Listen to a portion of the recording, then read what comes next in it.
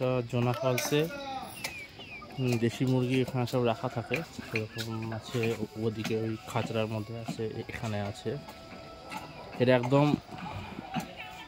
জবাইয়ের জন্য তৈরি।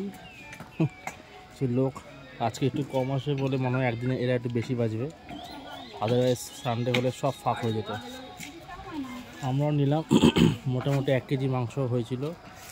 সাতশো করে প্লেট মাংস। প্লেট মানে পুরো মাংস রান্না করে দেবে প্লাস ভাতের দাম। দুনা ফলসের যাওয়া শুরুর দিকে এটা। এটা ফলস যাওয়ার রাস্তা।